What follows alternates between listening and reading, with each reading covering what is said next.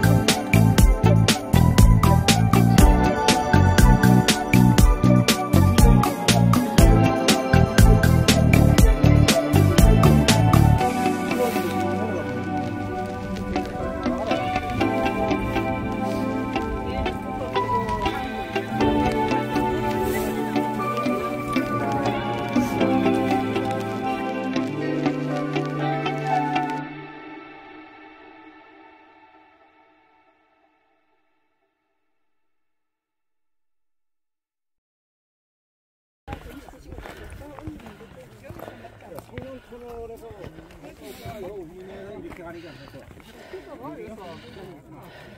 네, 자. 하나, 둘.